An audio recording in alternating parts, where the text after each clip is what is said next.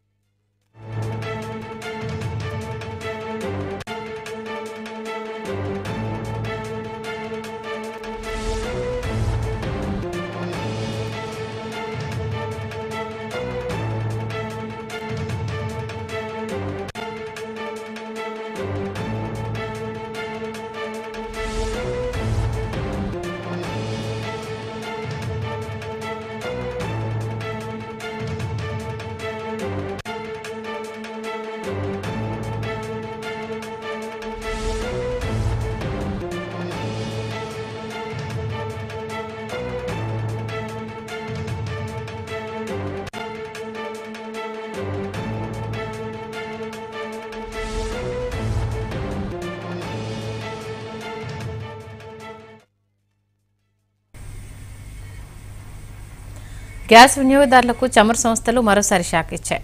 వంట గ్యాస్తో పాటు వాణిజ్య సిలిండర్ పైన ధరలు పెంచుతూ నిర్ణయం తీసుకున్నాయి. వంట గ్యాస్పై ఇరవై ఐదు రూపాయలు పెంచగా వాణిజ్య సిలిండర్పై తొంభై ఐదు రూపాయలు పెంచారు. అటు మూడు నెలల వ్యవధిలో వంట గ్యాస్పై రెండు వందల ఇరవై ఐదు రూపాయలను విడతల వారిగా పెంచుకుంటూ పోయారు. ఇక నూనె పరిస్థితి కూడా అలానే ఉంది. గత కొన్ని రోజులుగా చూసుకుంటే అటు పామాయిల్ దగ్గర నుంచి మంచినీళ్ళ వరకు ప్రతి ఒక్క ధర పెరుగుతూనే పోతుంది. ఇలా అయితే సామాన్యుడి పరిస్థితి ఏంటి అన్న ప్రశ్నకు సమాధానం మాత్రం దొరకట్లేదు. ఇక ఇదే అంశానికి సంబంధించి మనతో మాట్లాడడానికి పబ్లిక్ కాల్ సిద్ధంగా ఉన్నారు. కాల్ తీసుకుందాం. హలో. నమస్కారం మేడం. నమస్తే అండి. మీ పేరు ఎక్కడి నుండి? గోదావరి మేడం అప్పారావు గారు మేడం. చెప్పండి అప్పారావు గారు. ఇప్పుడు కూలీలు ధరలు రోజుకి సుతారికి వెయ్యి రూపాయలు మేడం. ధరలు పెరిగిన ఏం పెరగలేదు మేడం. కూలికి రోజుకి సుతారికి వెయ్యి రూపాయలు. ఉమ్, కూలివాడికి రోజుకి ఆరు వందల రూపాయలు కానీ వడ్లకు ధాన్యానికి ధరలు ఏం పెరగలేదు. వీళ్ళకు కూలీలకు పిచ్చిగా ధరలు పెరిగిపోయినాయి. ఈ పాపం ధాన్యానికి పండించే రైతులకు ధర ధాన్యానికి ధర లేదు. కూరగాయలకు ధర లేదు. వీళ్ళు ఇబ్బంది పడుతున్నారు కానీ వీళ్ళు ఏం ఇబ్బంది పడట్లేదు. ఉద్యోగస్తులకు జీతాలు పుల్లుగానే పెరిగినాయి. మేడం. ఖచ్చితంగా మీరు అన్నది వాస్తవం. మరి ఏంటి? పరిష్కారం ప్రభుత్వాలా లేకపోతే సామాన్య ప్రజల ఏంటిది గొంతు విప్పడమా? మేడం పూర్వం వెనకట మా- మా చిన్నతనంలో జీతగాళ్ళు రాకుండా సమ్మె చేసేది. ఎందుకు చేసేదంటే మాకు జీతాలు పెరగాలని. కూలీలు పెరగాలని సమ్మె చేసేది. వీళ్ళు సమ్మె చేయాలని చెప్పండి లేదు. పాపం రైతులే సమ్మె చేయాలి. ఓకే. మరి ఏంటి పరిస్థితి? థ్యాంక్ యూ అప్పారావు గారు. థ్యాంక్ యూ సో మచ్ అండి. మీ అభిప్రాయం తెలియజేసినందుకు. మరో కాల్ తీసుకుందాం. హలో. హలో. నమస్తే అండి. హలో నా పేరు చౌదరి అండి. చెప్పండి చౌదరి గారు. మినరల్ వాటర్ను కూడా ప్రైవేటైజ్ చేశారు కదండి. ఏది ప్రైవేటైజ్ చేయట్లేదు ఇప్పుడు. ఓకే. మరి ఇప్పుడు సినిమాలో సినిమాలో చిరంజీవి చంటబ్బాయి అని ఓకే. థ్యాంక్ యూ చౌదరి గారు. కార్యక్రమం చేసి కాల్ చేసినందుకు. మరో కాల్ తీసుకుందాం. హలో. హలో. నమస్తే అండి. నమస్తే అండి. మీ పేరు ఎక్కడి నుంచి మాట్లాడుతున్నారు? పేరు వెంకటేశ్వరరావు అండి. తూర్పుగోదావరి జిల్లా అండి. చెప్పండి వెంకటేశ్వర గారు. ఏమా ఇప్పుడు కేంద్రం పేదల కోసం ఏం ఆలోచించట్లేదండి. నూట డెబ్బై ఏడు మంది ఈ రోజు కుబేర్లు అయ్యారు మన దేశంలో నిన్నే. విన్నారా? ఏది మేడం? చెప్పండి వింటున్నాం. అంటే కేంద్రం ఏ దిశగా ఆలోచిస్తుందో మీకు అర్థమై ఉంటది అవును. ఏం మేడం? ఖచ్చితంగా. అంటే వీళ్ళు ఓటు బ్యాంక్ రాజకీయాలు చేస్తారండి ఎప్పుడు కూడా కేంద్రం ఎప్పుడు ఓటు బ్యాంక్ రాజకీయాలే చేస్తారు.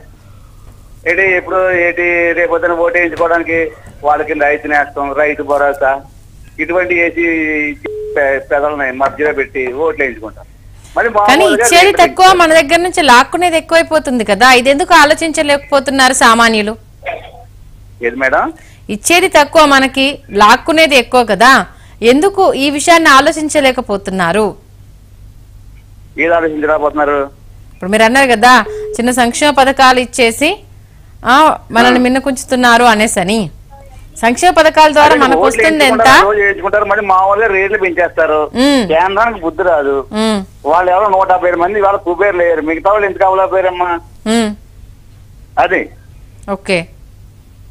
మీరు కేంద్రం చూస్తామా ఇది. మనం ఇక్కడ పెట్టుకుంటే డిబేట్. కేంద్రానికి తెలియడం కోసం కాదండి. సామాన్యుల్లో ఒకరిలో ఒకరికైనా ఇది జరుగుతుంది.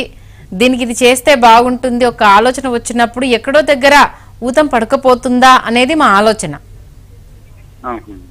థ్యాంక్ యూ వెంకటేశ్వర్లు గారు? థ్యాంక్ యూ సో మచ్ అండి.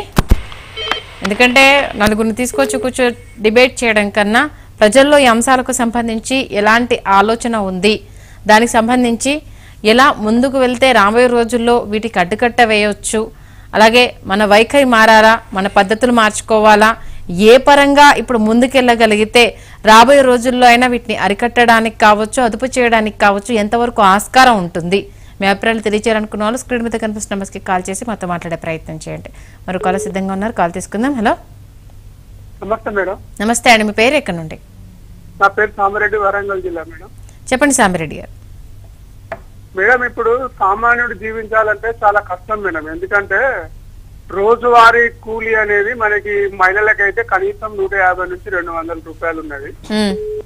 రెండవది మగవారికి అయితే ఎటువంటి కూలీ పోయినా కూడా ఐదు వందల నుంచి ఎనిమిది వందల వరకు ఉన్నది మేడం. అది కూడా రోజు దొరుకుతుంది. మనకు నిత్యావసర వస్తువులు అనేవి రోజు రోజుకి గ్యాస్ ధర పెరిగిపోతా ఉన్నది పెట్రోల్ ధర పెరిగిపోతా ఉన్నది డీజిల్ ధర పెరిగిపోతా ఉన్నది. ఈ డీజిల్ ధర పెట్రోల్ ధర పెరగడం వల్ల మనకి రవాణా ఛార్జీలు పెరగడం వల్ల ఈ నిత్యావసర వస్తువులు అనేది భారీగా పెరుగుదల అనేది కనిపిస్తా ఉన్నది మేడం. ఇప్పుడు ఎప్పుడు లేనటువంటిది వంట నూనె మీదనే కనీసం తొంభై ఐదు రూపాయలు ఉన్నటువంటి వంట నూనె ఇప్పుడు నూట నలభై నూట నలభై ఐదు రూపాయలకు మేడం. అవును. పప్పుల మీద తొంభై ఐదు రూపాయలు ఎనభై ఐదు రూపాయలు ఉన్న పప్పులు ఈ రోజు నూట ముప్పై నూట ఇరవై ఇవి కూడా చేరుకున్నాయి ఇలా మనం చేసుకుంటా పోతే సామాన్యుడు అయితే చాలా కష్టమైన పరిస్థితి మేడం. ఖచ్చితంగా అండి. థ్యాంక్ యూ అండి. థ్యాంక్ యూ సో మచ్ కార్యక్రమాన్ని చూసి మీ అభిప్రాయాన్ని తెలియజేసినందుకు మరో కాల్ తీసుకుందాం. హలో హలో నమస్తే అండి. సార్ నమస్తే మేడం. మీ పేరు ఎక్కడి నుంచి మాట్లాడుతున్నారు? Madam Chittoor district Madanapalle madam. పేరండి? Hello Venkatanarayana madam. చెప్పండి వెంకటనారాయణ గారు. మేడం ఇప్పుడు నిత్యావసర వస్తువుల మీద మీరు అక్కడ చర్చ జరుగుతున్నట్టు నాకు తెలుస్తుంది మేడం. అయితే నిత్యావసర వస్తువుల మీద ఇప్పుడు ఉల్లిపాయలు వంద వెంటనే స్ట్రైకులు చేయడము ఇబ్బందులు పెట్టడము ప్రతిపక్ష పార్టీలు ఇవన్నీ చేస్తున్నారు. కాకపోతే వంద రూపాయలు పోతే మేము రైతులు బాగుపడతాం కదా మేడం మేము. ఇప్పుడు మేము రైతు ఒక రైతు మేము. ఆ ఉల్లిపాయలు వంద రూపాయలు పోతే అక్కడ ఎంతో గోల చేసి దాన్ని ఆపేదానికి ప్రయత్నం చేస్తారు. కాకపోతే తక్కువ రేట్ వచ్చినప్పుడు మాకు రెండు రూపాయలు మూడు రూపాయలు కిలో పోతే రైతు నష్టం నష్టపోతాం కదా. వంద రూపాయలు పోయి వస్తేనే మాకు చాలా న్యాయం అనిపిస్తుంది మేడం. ఓకే. ఇంకా పెట్రోల్ అంటే నిజంగా మీరు అన్నట్టు అది రైతుకే చెందితే రైతు అకౌంట్లో నేరుగా పడ్డా లేకపోతే ఆ రైతు దళాన్ని నమ్మకుండా వాళ్ళే నేరుగా పంటను నమ్మకుండా మీరు అన్నదానికి అందరూ ఏకీభవిస్తారు. అంటే పండించిన వాడికి ఆ హక్కు ఉంది అనేసి అని. బట్ ఎంతవరకు పండించిన వాడి అకౌంట్లోకి మీరన్న రేటు వెళ్తుంది? మేడం. హలో. చెప్పండి. మేడం ఇది నా మేడం. ఎందుకంటే మేము రైతులుగా దాన్ని ఆలోచన చేస్తున్నాము. కాకపోతే ఇంకా పెట్రోల్ ధర అంటారు మేడం. పెట్రోల్ ధర అంటే ఏం మేడం? ఇది ఇండియాలో తయారయ్యేది కాదు కదా మేడం అది. అది అంత ఇంటర్నేషనల్ లెవెల్లో వచ్చేది కాబట్టి ప్రభుత్వాలు తప్పు ఏముంది మేడం. ఒకటి ఇచ్చే ఒకటి ఇవ్వాలంటే ఒకటి పుచ్చుకోవాలి కదా. అది ప్రభుత్వం మీద అపరాధాలు వేయడం అనేది మేము ఒక రైతుగా కూడా నేను చెప్తున్నాను మేడం. ఓకే. థ్యాంక్ యూ అండి. మీ అభిప్రాయం తెలియజేసినందుకు. ఓకే. మరో కాల్ తీసుకుందాం. Hello.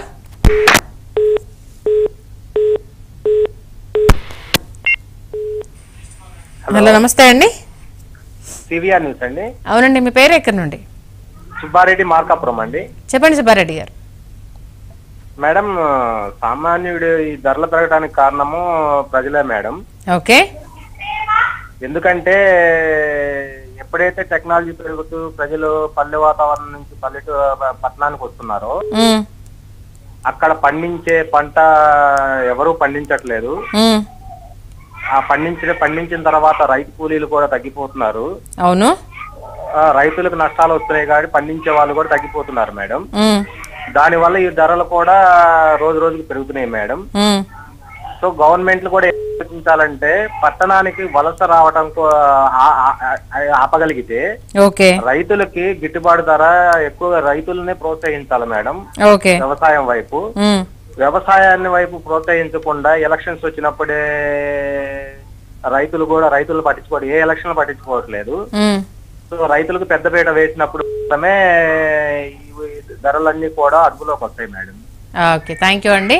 Thank you so much మీ అభిప్రాయాన్ని తెలియజేసినందుకు మరో కాల్ తీసుకుందాం. హలో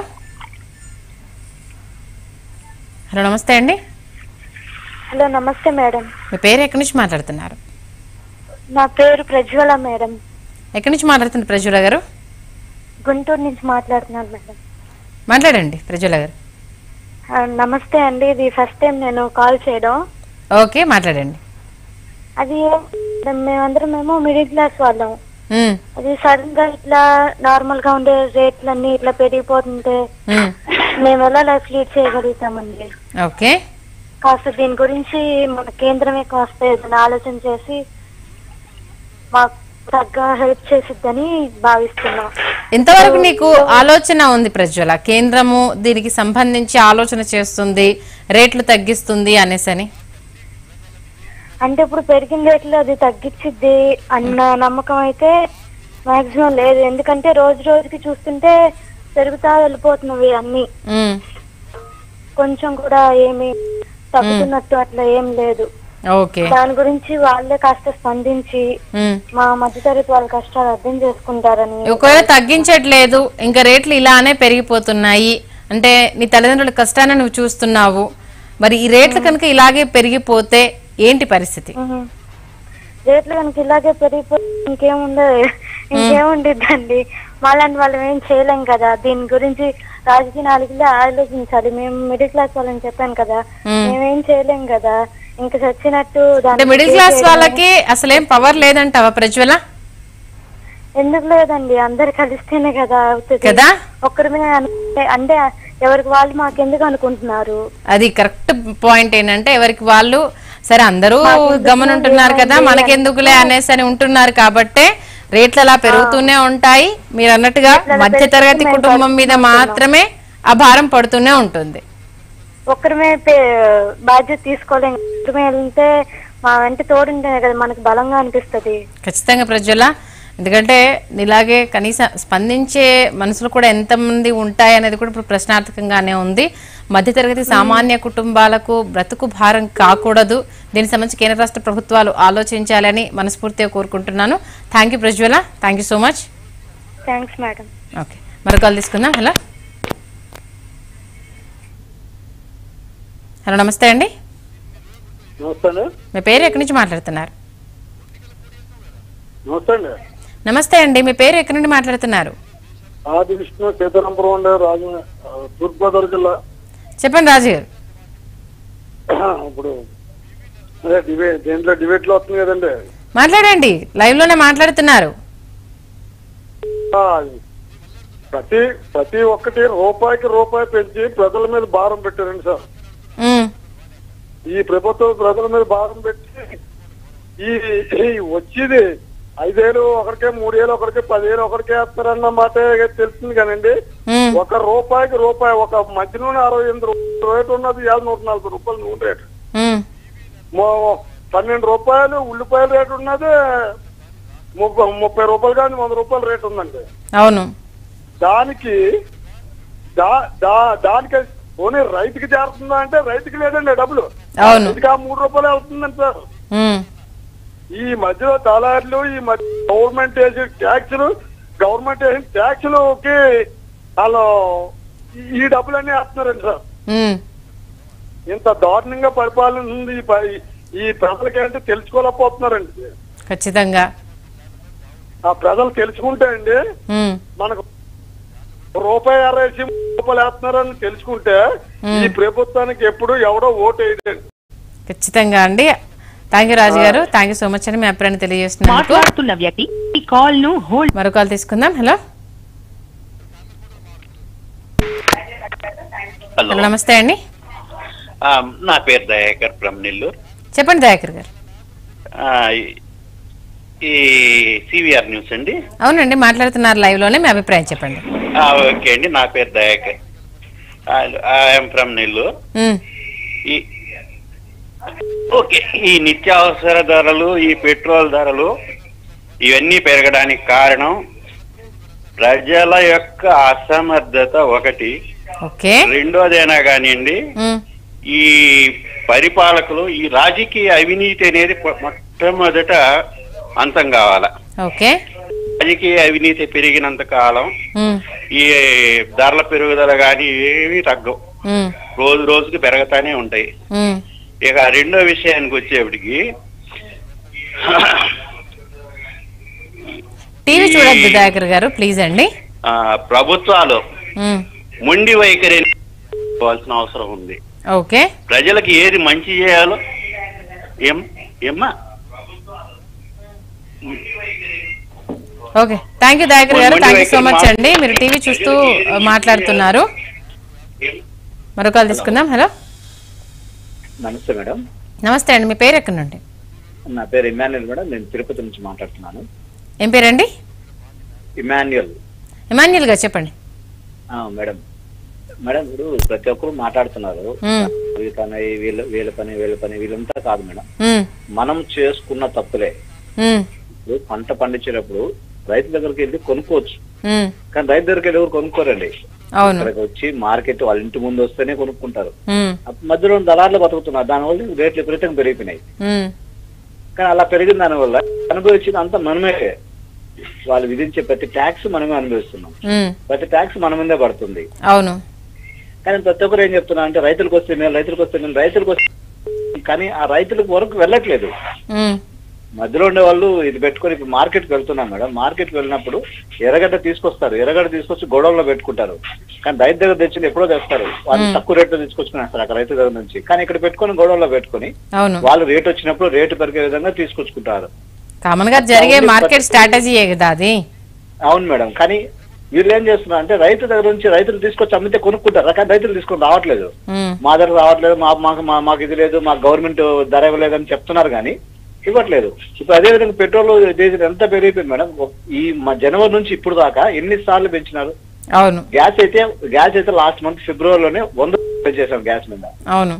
కానీ మిడిల్ క్లాస్ ఎలా బతకాలి మేడం ఇలా ఉంటే వీళ్ళు? ఎంతసేపు అయినా కూడా మేము పెంచుకుంటా పోతాం తగ్గిస్తాం తగ్గిస్తాం. రూపాయి పెంచుతున్నారు ఐదు రూపాయలు పెంచుతున్నారు. ఖచ్చితంగా కానీ తొంభై ఐదు సార్లు భారం నెత్తిన పడతా ఉంది.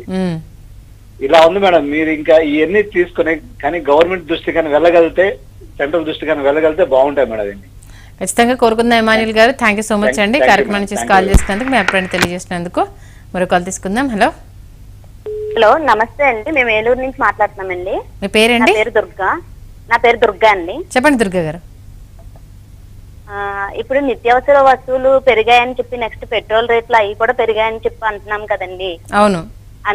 ఆల్ డిపార్ట్మెంట్స్ అంటే ఇప్పుడు పెట్రోల్ పెరిగిందని చెప్పి నెక్స్ట్ ఉక్కు ఫ్యాక్టరీ అమ్ముతుందని చెప్పి ఆ వర్కర్సే కాకుండా Hmm. ఎవ్రీ డిపార్ట్మెంట్ ప్రతి వాళ్ళు రియాక్ట్ అయ్యి ఆ, వాటికి స్పందించి వాటి వాటిని వ్యతిరేకిస్తే ఖచ్చితంగా ఈ రేట్లు అనేది తగ్గుతాయి ఏంటంటే ఆ, ఉక్కు ఫ్యాక్టరీ నెక్స్ట్ ఏదైతే ప్రైవేటీకరణ చేస్తున్నారో అవన్నీ మనం మన గవర్నమెంట్ అదే ఆస్తులు అనేవి మనం కాపాడుకోగలుగుతామని ఎంతవరకు అలా ఏకతాటిపైకి వస్తారని మీకు నమ్మకం ఉంది దుర్గా గారు? ప్రతి పర్సన్ ఎదుటి వాళ్ళు వస్తారు అని అనుకోకుండా మన డిపార్ట్మెంట్ సపోజ్ ఎగ్జాంపుల్ మేము మెడికల్ డిపార్ట్మెంట్ అండి. మా- మెడికల్ డిపార్ట్మెంట్ నుంచి మేము కొంతమంది ముందుకు వస్తే మమ్మల్ని చూసి ఇంకొంతమంది ఆదర్శంగా తీసుకుని వాళ్ళు కూడా వస్తారని. అలా. Every department means means teaching అని లేక అది. డిపార్ట్మెంట్ అని కాకుండా ప్రతి ఒక్కరిది మన బాధ్యత. ఖచ్చితంగా మనం దీనికి సంబంధించి గొంతు విప్పాలి అనుకొని వస్తే పరిష్కారం దొరుకుతుందన్నది మీ అభిప్రాయం అంతేనా? ఆ, మనది డెమోక్రసీ అంటారు కదండి. అంటే ప్రజల చేత పరిపాలించేది అంటారు. కానీ ప్రజలే వెనకడుగేస్తుంటే పొలిటీషియన్స్ అధికారం తీసుకోవడానికి అంటే వాళ్ళు తీసుకుని వాళ్ళు నిర్ణయించేది ప్రజలు ఫాలో అవుతున్నారు. అది కాకుండా ప్రజలే పరిపాలించేలాగా నిర్ణయం తీసుకుంటే మనది డెవలప్ అవుద్దండి. ఓకే. థ్యాంక్ యూ దుర్గా గారు. థ్యాంక్ యూ సో మచ్ అండి. థ్యాంక్ యూ ఆ స్పందన వస్తే నిజంగానే అలాంటి ఆ, రోజు వచ్చిన రోజు మాత్రం సువర్ణ అధ్యాయం లిఖించినట్టే అండి. మరొక కాల్ తీసుకుందాం. హలో హలో నమస్తే అండి. నమస్తే మేడం. మీ పేరు ఎక్కడి నుంచి మాట్లాడుతున్నారు? సతీష్ మేడం. కరీంనగర్ నుంచి మాట్లాడుతున్నాను. కొంచెం గట్టిగా మాట్లాడండి. సతీష్ మేడం కరీంనగర్ నుంచి మాట్లాడుతున్నాను. చెప్పండి సతీష్ గారు. ఈ నిత్యావసర సరుకులు ధరలు పెరిగినాయి అని ఉన్నా ఉమ్, షోలా నడుస్తుంది కదా మేడం? షోలా నిత్యావసర వస్తువుల ధరలు పెరుగుదల అని షో నడుస్తుంది కదా. అవును. అయితే ఈ నిత్యావసర వస్తు వస్తువులకి పబ్లిక్ అర్థమైతలేదు మేడం. ఎవరి మీద ఎంత భారం పడుతుంది అనేది ఒక్కొక్కరు ఆలోచించుకునే వరకు వాళ్ళు అలా ఆలోచించుకోడు అయితే మనకు ఒక ప్రభుత్వ ఎంప్లాయీకి చెవున పట్టడం లేదు ఎవరికి పట్టడం లేదు. అయితే రైతులకు స్వయంగా ఆదాయం అనేది రైతులకు వచ్చడం లేదు. అయితే వాళ్ళు కరప్షన్ ఉంది కదా మేడం. వాళ్ళు కరప్షన్ తీసుకుంటారు కాబట్టి ఎంత పెరిగినా కానీ కొనుక్కుంటారు. ఓకే. అదే ఒక డైలీ కూలి చేసేటైనా రెండు వందలు వస్తాయి. ఆయన ఈ పరిస్థితుల్లో ఎలా కొనుక్కుంటాడు? వాళ్ళు ఎలా బతకగలుగుతారు? అవును. ఒక వంద వంద రూపాయలు అయింది మేడం లీటర్ పెట్రోల్. డైలీ కూలి చేసుకున్నవాడు ఎలా బతుకుతారు అందుకే ప్రభుత్వాల వైఖరి కూడా మంచిగా లేదు. ఖచ్చితంగా మీరు అన్నది అవుతుంది. ఈ ధరల నియంత్రణ ప్రభుత్వం దృష్టికి పోయి ధరలు తగ్గించాలని కోరుకుంటున్నాను. థ్యాంక్ యూ సతీష్ గారు. థ్యాంక్ యూ సో మచ్ అండి. మరొక కాల్ తీసుకుందాం. హలో హలో నమస్తే అండి. హలో నమస్తే అండి. టీవీ వాల్యూమ్ తగ్గించేయాలండి. లైవ్లో కాల్ కనెక్ట్ అయింది. హలో నమస్తే అండి. హలో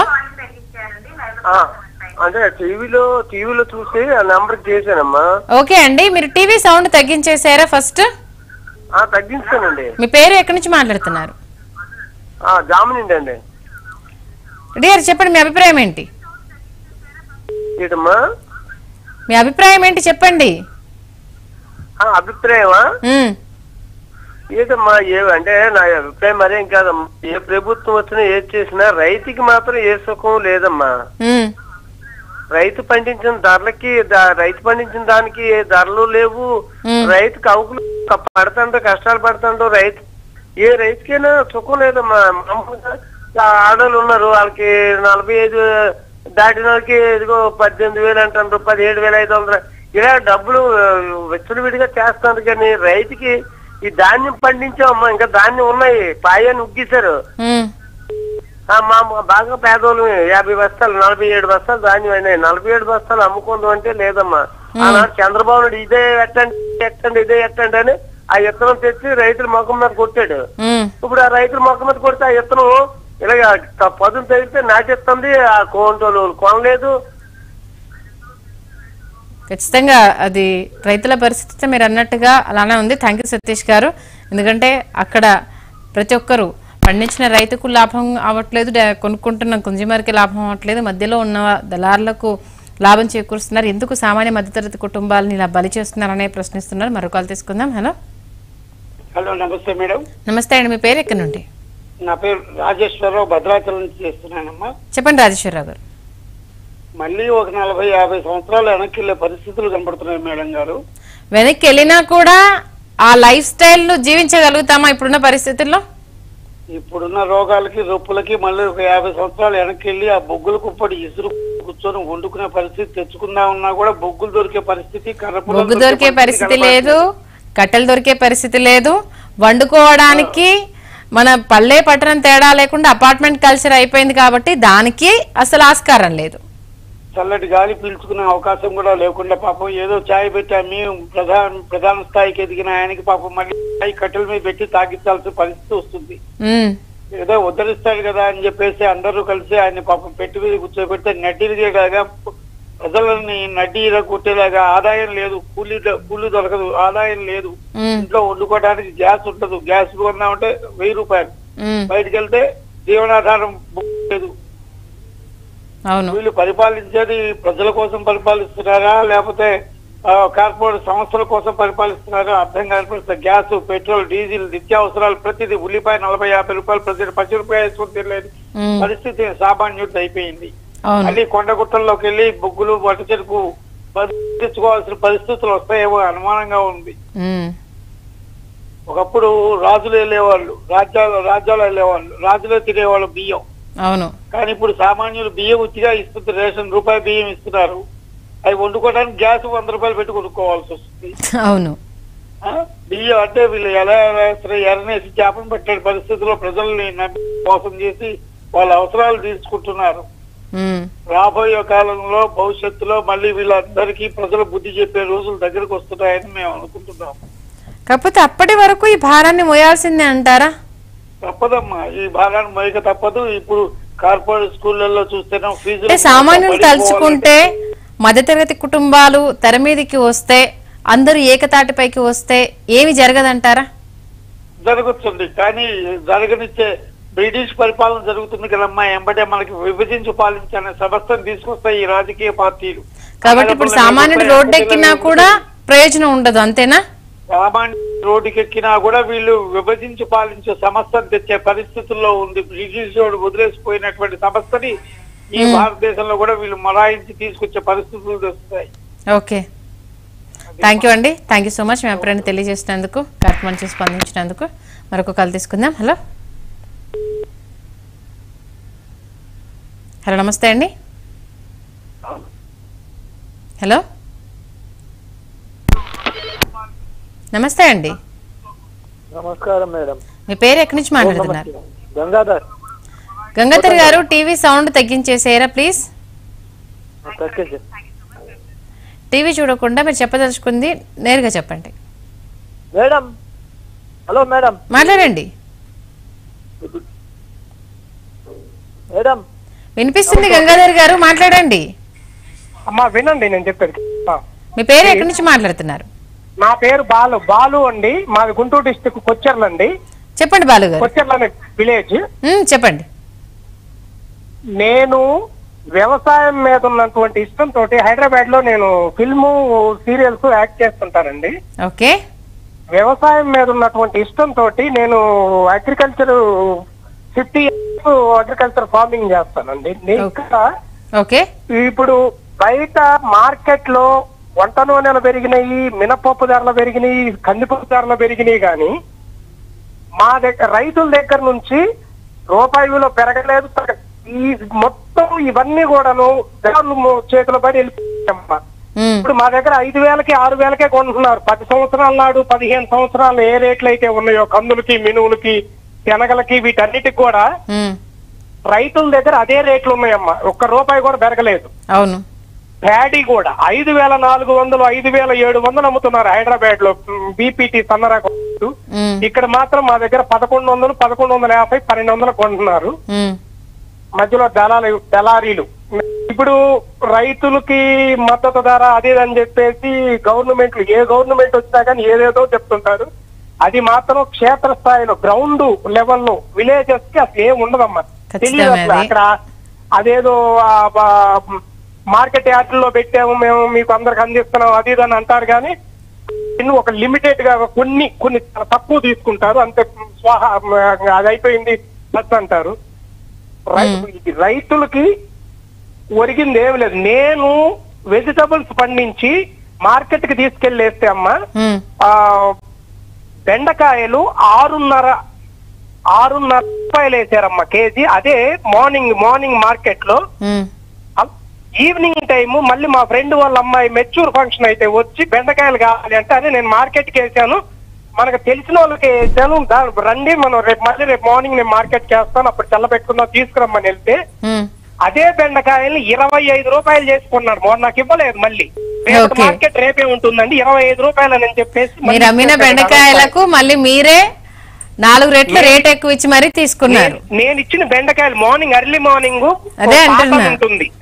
పాత పాటలో ఆరున్నర రూపాయలకి వేసాను.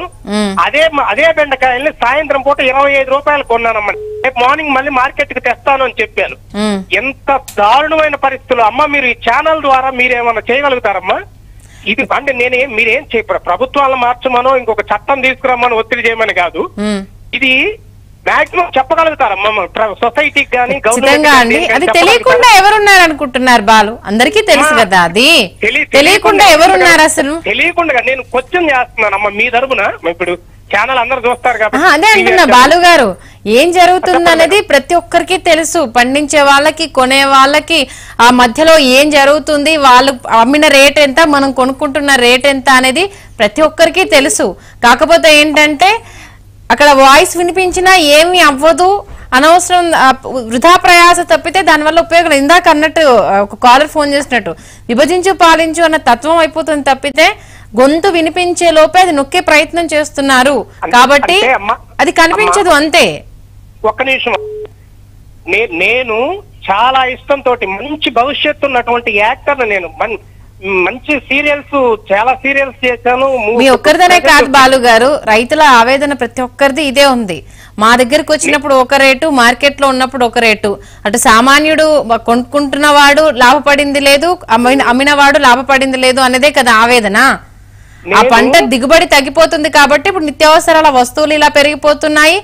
పంటలు పండించే వాళ్ళు దాని మీద ఆసక్తి చూపించట్లేదు ప్రభుత్వం నుంచి సహకారాలు అందట్లేదు కాబట్టే కదా వేరే రాష్ట్రాల నుంచి దేశాల నుంచి మనం ఎక్స్పోర్ట్ చేసుకుంటున్నాము. ఆ సుంకం ఈ సుంకం అని చెప్పేసి మన మీద ట్యాక్స్ల పేరుతోటి భారాలు వేస్తున్నారు. అమ్మ సహకారం అందించాల్సిన అవసరం లేదు. మేం పండించిన పంటకి రైతులు పండించిన పంటకి సకాలంలో మేము ఎప్పుడు కావాలంటే మాకు సబ్సిడీలు ఇవన్నీ ఏం అవసరం లేదమ్మా.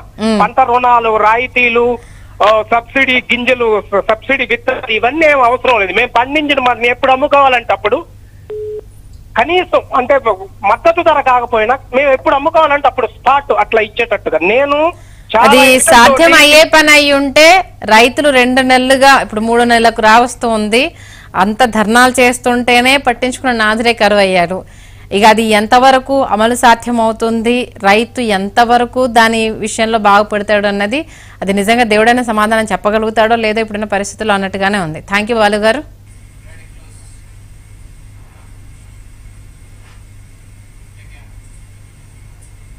చూస్తున్నారు కదా రకరకాల అభిప్రాయాలు. గొంతు విప్పినా దాన్ని నొక్కే ప్రయత్నం చేస్తున్నారు. అలవాటు పడ్డం తప్పితే చేసేదేమీ లేదు అన్న అభిప్రాయానికైతే సామాన్య మధ్యతరగతి కుటుంబాలు వచ్చాయనేది మాత్రం స్పష్టంగా తెలుస్తుంది. ఇది వాళ్ళ స్పెషల్ డ్రైవ్. చూస్తూనే ఉండండి CVR news. CVR news for you.